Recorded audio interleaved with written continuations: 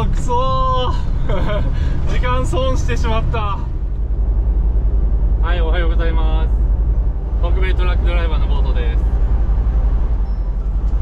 ただいまですねインターステートの80番を東に向かって走ってます。80番と94番が今一緒になってるところかな。でここはシカゴですね。おうおう。すごいな。なんかねここね道路結構ガタガタなんですよね。この辺はもうめったに走ることないです。あの過去に1回か2回走った程度ですね。いやでももうだいぶ昔の話です。トラック乗り始めたばっかりの時ぐらいかな。あサリン出てきました。えー、インディアナ州に入ります。More to ー、とカナダの国境までだいたいここから45時間ぐらいでしょうかね。まだ朝の6時10分ぐらいなんで暗いです。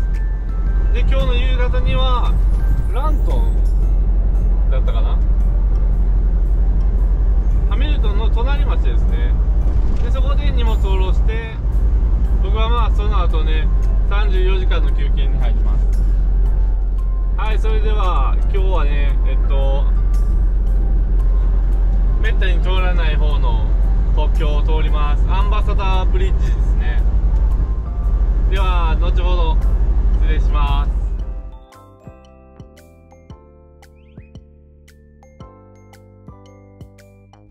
あ今ミシガン州に入りました読めへんかった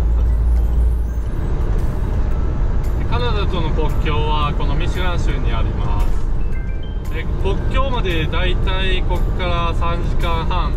で国境を渡ってお客さんのところまでさらに3時間半ってところですかね。今運んでる荷物の冷蔵庫の設定温度が55度なんですね。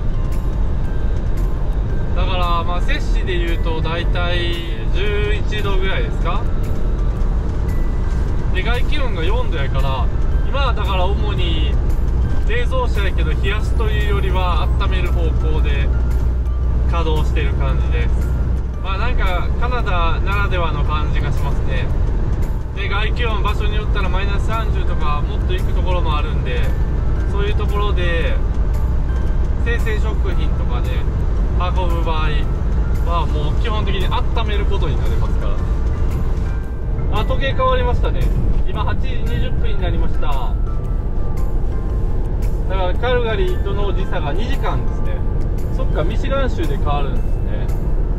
でここの時間とオンタリオ州カナダの時間が一緒なんでだからまあこの時間に合わせてお客さんにお届けすることになると思います。はいそれではまた後ほど失礼します。はいお疲れ様です。今はインターステートの94番をデトロイトの方に向かって走ってます。あと1時間ぐらいで国境に着くんでここで燃料補給しとこうと思います。お客さんのところに今運んでる荷物をドロップオフするんですけどその時にねリーファーの燃料を満タンにしておいてくれっていう風に指示があるんですね。まあこっからだいたい4時間ぐらいなんでしかも今スタートストップモードなんですね。だからまあここで満タンにしといたら問題ないんでトラクターの燃料とリーファーの燃料をここで入れていこうと思います。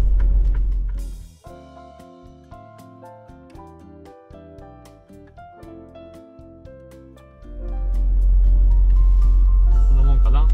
はいではちょっと燃料補給をしてきます。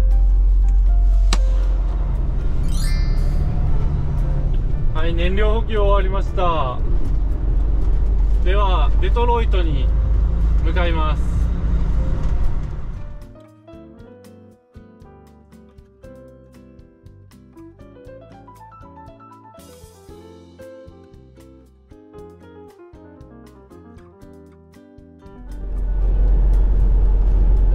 今度デトロイトですね。このダウンタウンエクスプレス96の方を向かいます。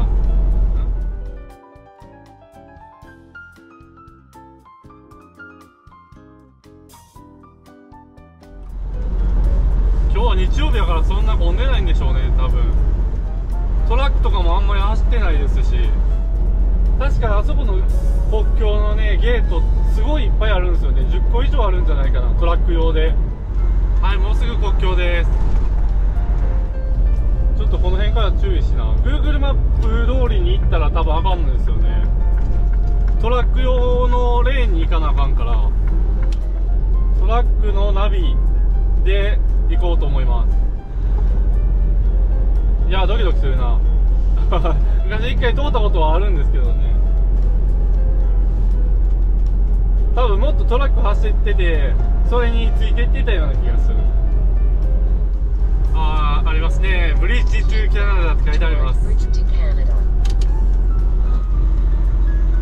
えー、こっちですね。オンリーキャナダって書いてあります。ノーリエントリー to USA あトラックいっぱい通ってますね CBP ファシリティープレフトああここやな。でここにあれ多分ガソリンスタンドみたいなのがあるんですよね。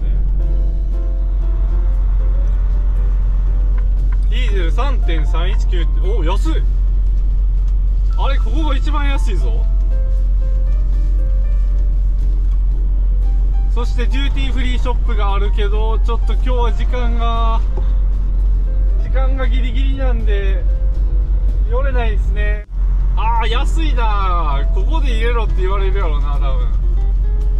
えどっち？ All trucks use right lane on bridge。乗ってるか？ああ正面に見えますね。デトロイトのダウンタウン。もう結構都会やな。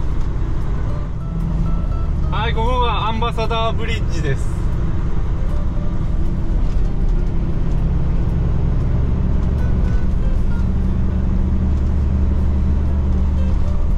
でこれを越えるとキャナダですね。わあすごいな。ちょっとテンション上がるな。え右側にも橋作ってますよ。ちょっと見えへんやろうけど。すごい大きい橋作ってます。もうちょっとでつながるところです。アンバサダーブリッジはアメリカとカナダの国境で最も交通量が多い道路。長さは2286メートル1929年に完成しました。なんとこの橋は1979年に大富豪のマニュエル・モラウンが買収し個人で所有している。大型トラックや二輪車はデトロイト・ウィンザートンネルの通行を禁止されているため事実上彼が商用トラック輸送の通行料収入と免税ガソリンの販売を独占している。そのためアメリカとカナダ政府が共同で下流にもう一つ橋を架ける計画が発表され2018年に建設が始まり2025年に完成予定であるユニバーシティ・オブ・ウィンザーああまあちょっと並んでますね。まあトラックの方はそこまでかな。あーカナダですよカナダ。オンタリオ州のライセンスプレートがありますね。あれ僕ファストカードあるんですけどなんかエクスプレスレーンとかないっすね。てっきりあると思ってたんですけどね。今トラック来ましたよ左側に。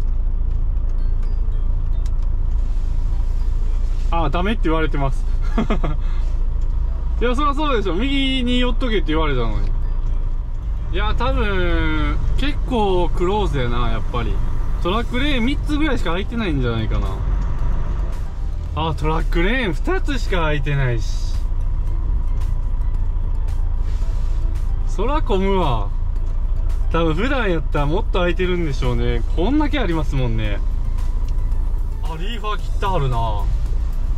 多分今の人切ってはりました。そう国境越える時ね冷蔵庫をオフにしなあかんんですよね。そうじゃないともしまあ僕の場合はスタートストップモードやからストップしてる時やったら全然問題ないんですけどオンになってたらねオフィサーの声も聞こえへんから怒らはるんですよね切れって。だから僕もちょっと近づいたら切ろうと思います。すごいな。ゲートだけで30ぐらいあるんじゃないかな。あ冷蔵庫ついた。やばい今朝な。消してきます。すごいタイミングでついたな。で今のうちにピード表示をマイルからキロメートルに変えるでしょ？時間帯をカナダ時間に変更。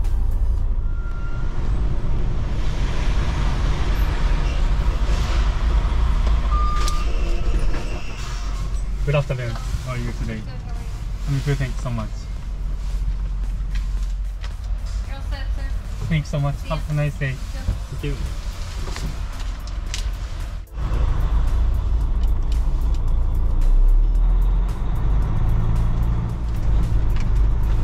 問題なくカナダ入国できました。えー、どっち？こっちでいいのか？あ見てなかったな。リターントゥーダ US だもん。左行ったらアメリカ行きます。カナダのマクドナルドはね、マクドナルドのサインの真ん中にメープルが入ってるんですよね。なかなか可愛らしいですよ。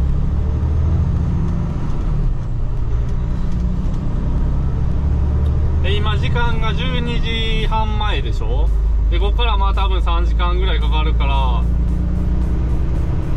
あ結局もう4時近いですね。スピード60って書いてあるけど60マイルじゃないです。60キロです。 Welcome to Ontario いや久しぶりやな。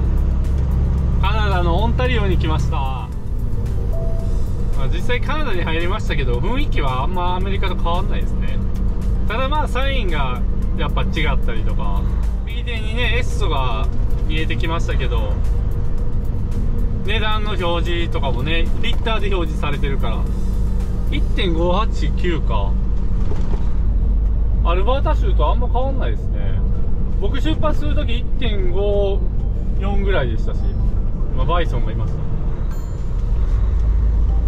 はいではあと3時間。走っていこうと思います。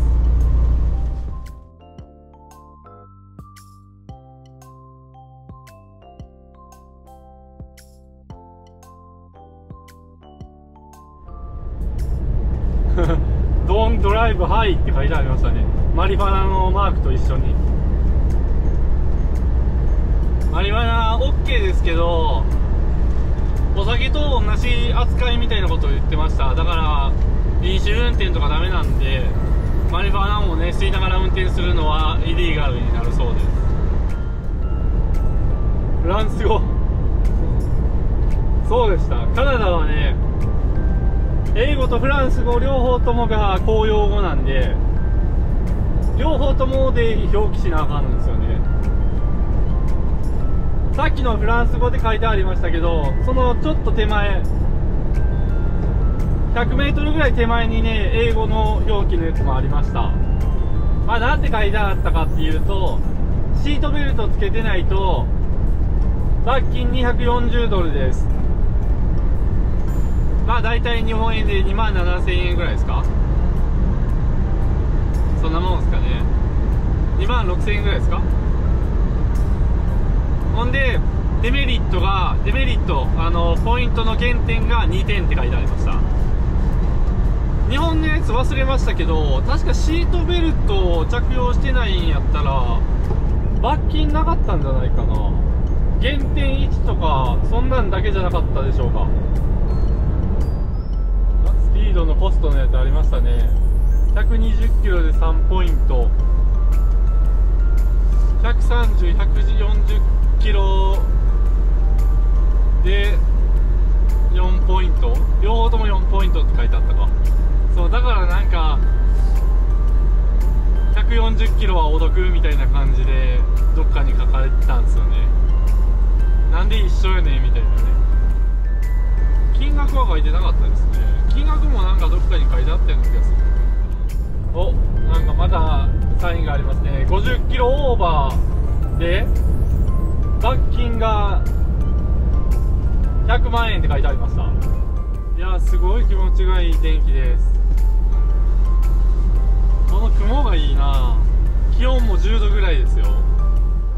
もうちょいっすね。あと5分ぐらいでお客さんとこ到着します。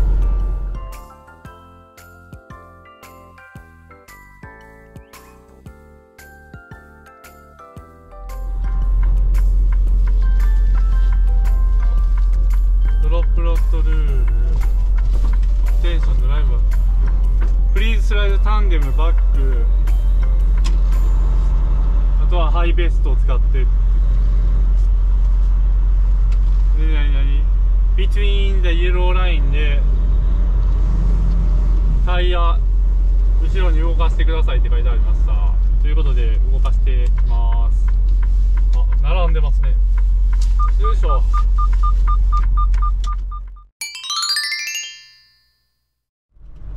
はい無事に配達終わりました。今からねトラックストップ行こうと思います。いやできればここにあるハンプトンインとかそういうところに泊まりたいんですけどね.まあ僕はシャワーさえ浴びられたらいいんでとりあえず、えートラックストップの方に行こうと思います.あフライング J 見えてきましたねえー、ここでねリセットしようと思います。あボブテール用の。あ違うわ。これリザーブでって書いてある。えー、これ開いてないパターン。えここも全部リザーブって書いてある。ええー、開いてないんちゃう？おオッケーなんかな？ちょっと聞いてみようかな。前の人によ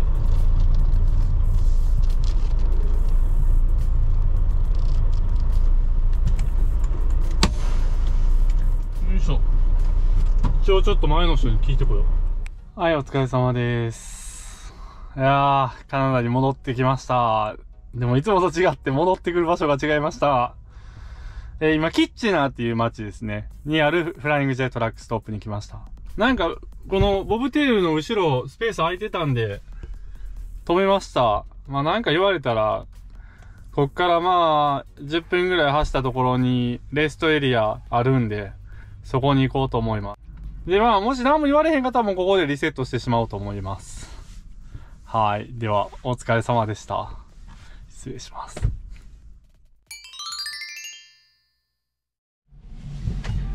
はい、お疲れ様です。今はですね、カナダのコンバーっていう、オンタリオ州にある町にいます。えっとね、言いにくいけどね、ペトロ、ペトロパスっていうのがね、あるんですよね。まあ、トラックストップです。ちなみに、隣にバイソン止まってます。えー、それでですね、今ちょっとなんかめんどくさいことになってます。なんやろ？なんかよくわかんないんですけど、えっと、この隣にね、バイソンのヤードがあるんですよ。僕も知らなかったんですけど、初めて来ました。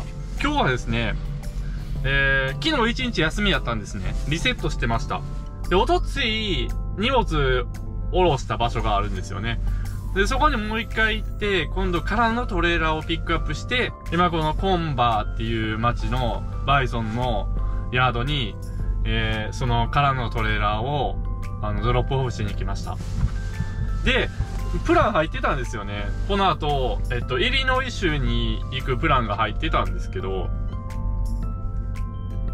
で、そのプランが、えっと、この、この、バイソンのヤードから荷物が積み終わってるトレーラーをピックアップして、で、まあ、またアメリカに届けるっていうプランやったんですよね。で、トレーラー探してたんですよ。どこにあんねやろうと思ったら、なんか、このトラックストップの方になんか、GPS は、あの、ありますよっていう風に言ってて、で、来て探してたんですよね。じゃあね、この、バイソンの、今、隣に止まってるんですけど、このトラックが、僕のピックアップするはずのトレーラーを今ホックアップして持ってるんですよ。あれってどうなってんねやろうとか思ってこっち来て、まあドライバーさんと話したら、いや、俺も同じプランやでって言われて、で、トレーラーとかも見たらなんか同じプランになってるんですよね。えー、っておかしいなって、まあまあとりあえず会社電話したら、うん、なんか、なんか、なんでしょう、なんかダブルブッキングみたいな感じになってたんでしょうね。で、まあ会社曰く、えー、トレーラーは、実は2つあって、で、その2つともが同じ場所に行く予定らしいんですよ。だから、まあ、彼が持ってるのは、まあ、まあ、間違いないらしいんですけど、僕のやつはなんか違うトレーラーの番号が本来は、なんか書かれてなあかんかったらしくて、で、今、なんでしょう、調査してはります。全然よくわからへんけど、その、調査とかいうのもね、だってもうここに来て3時間ぐらい待ってますからね、まあ、あ、ごめんなさい。あ、そうですね。うん、ここ来てもう3時間半ぐらい待ってます。今1時、も、今1時45分ぐらいですね。いやー、困ったなー。そんなに時間かかるってことは、下手したら今日荷物ないかもしれないですね。っていうのも今いる場所がね、えー、デトロイト。アメリカの国境までもう30分ぐらいの場所にいるんですよ。だから、ここからなんか荷物あるかなって、アメリカ行きのそれか、ね、トレーラーの番号が分かって、全部準備ができたとして、で、問題はね、まだあって、この隣のトラック、ここにね、18時間ぐらいやはるんですよ。っていうのは、その国境の手続きが全然終わらへんくて、待たされてるそうです。だから僕がこれを引っ張ってても同じように待たされてるんですよ。いやー、困りましたよね。だから、もう一つのトレーラーが見つかったとしても、同じように待たされるんでしょうね。いやー、34時間リセットした後のこれはちょっとしんどいな。あ、プランがウィズドローされましたね。だから初めに入ってたプランはなくなりました多分また新しく違うプランを送ってきはるんやと思いますああるんかな？まあそんな感じです。ちょっとめんどくさいことになりました。よリセット上げに。昨日はもう一日トラックの中で過ごしてましたしね。あ電話かかってきましたね会社から。はい今電話かかってきてとりあえずあのトレーラーの番号が分かったから一回チェック行ってくれって言われました。なので今からちょっとチェックしに行きます。ここがねバイソンのヤードです。でトラックストップのすぐ隣にあるのはいいですね。トレーラーの番号が80840でそれのペーパーワークを確認して折り返し電話してくださいっていうふうに言われました。ええなこれが分かるまでに何時間3時間もかかるんです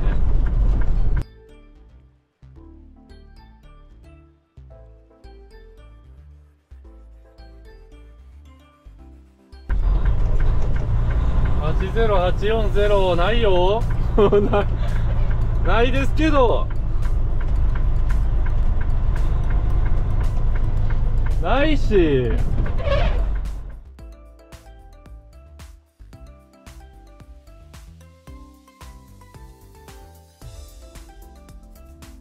はいありません。会社に電話します。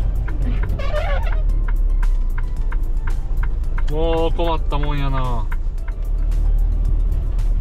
はいお疲れ様です。違うプランが入りました。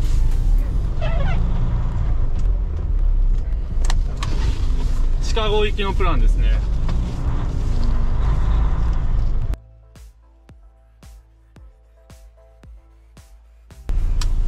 ああ疲れた。結局4時間ぐらい待ってたのかなここで。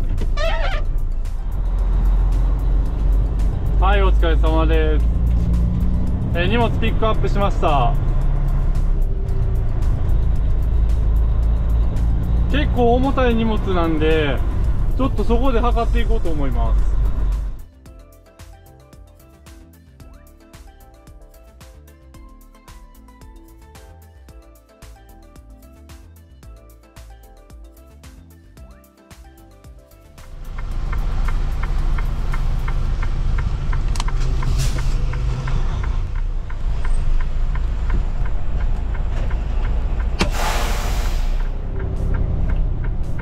疲れ様です。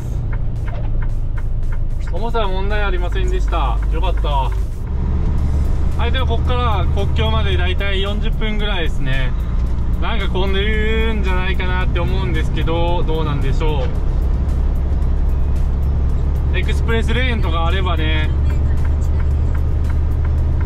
並ばなくても済むんですけどなんか来る時はなかったですもんね。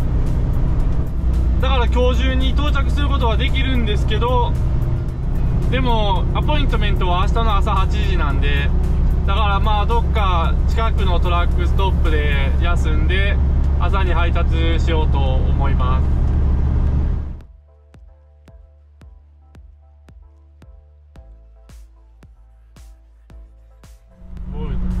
なんかトラック真ん中のレーンに全部いますね。でもなんか書いてあったかなサイン。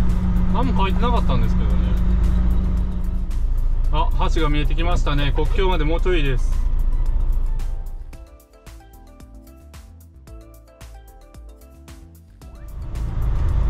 ああ一車線になるんですねここで。ねだからみんな左にいたんですね。さすがみんな知ってるんですね。あ反対側は混んでないですね。あ今日はトラックレーンめっちゃ空いてますわ。10個ぐらい空いてます。はいここからアンバサダーブリッジですね。でこれを越えたらデトロイトです。アメリカです。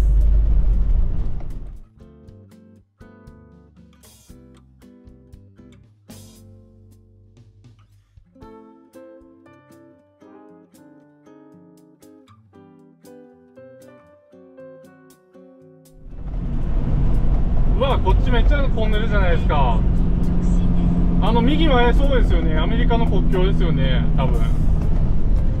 トラックめっちゃ並んでますね。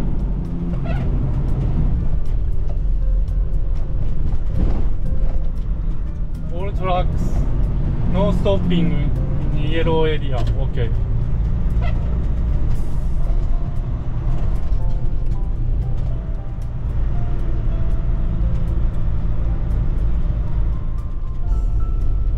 さあ。どう？エクスプレスレーンとかはないの？ないのかよ。作ってくれよ。もうどこが早いか分からへんしとりあえずもうここ行こうか。あの一番左のレーンが気になるな。あ一番左やったかもしれんな。なでも書いてなかったしな。そうやってしまったか？はい、お疲れ様です。えーここ到着して30分ぐらい経ちました。いやー、待たされてますね。いや、絶対ね、ファストレーンあると思うんですよ。一番左なのかなでもなんかサインが出てなかったように見えるんですよね。もっと分かりやすくしといてほしいなせっかくファストカードあるのに、多分、カードあったらね、10分ぐらいで済んだんじゃないかな痛いな。やってもうた。バンクーバーのところの国境とかちゃんとファーストカードレーンって書いてあるからね。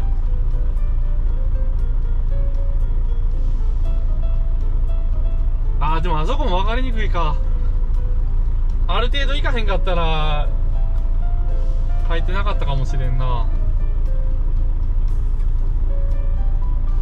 初めての人はねちょっと失敗するかもしれないです。僕もファーストカード取ってからは初めてここ通るんで。それにしても時間かかってるなここの国境は。はいもうちょっとです。はいお疲れ様です。いやーやっとで抜けられましたよ。結局50分ぐらいかかったんじゃないかな。いやもう僕の失敗ですわ。やっぱファーストカードレーンあったそうです。おじさんにまあ聞いたら。一番左側のレーンがファストカードレーンやったらしいです。多分そっち行ってたら15分ぐらいで終わってたと思います。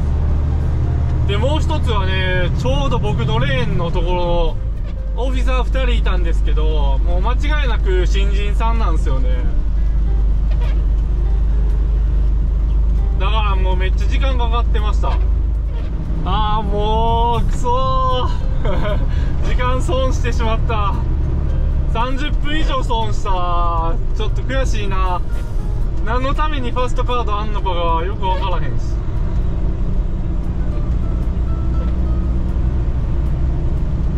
まあ初めて通るから仕方ないんかもしれないですけどファーストカード取ってからね。まあとりあえず問題なく問題はあったのかな？いやないか。問題なくアメリカに入国できました。じゃあここからまあ4時間半ぐらい走ってシカゴに行きたいと思います。いやートラックストップ空いてんのかななんか空いてないような気がする。で時間1時間戻ったとして3時半。で4時間半。8時やし。まあもう空いてなかったらお金払うしかないですね。はいではまた後ほど。えっ、と今日はちょっと天気悪いんで景色もね大したもん見られへんっていうのが残念です。まあひたすら走っていこうと思います。はいでは失礼します。